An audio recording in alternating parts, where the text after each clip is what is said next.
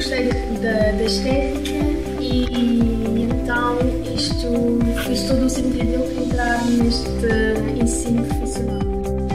Porque coincidia os estudos com a parte profissional.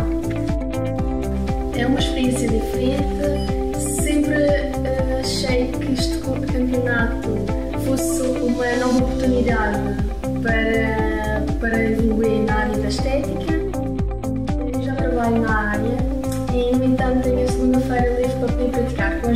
com as juradas no centro de formação para poder aperfeiçoar as técnicas para o campeonato.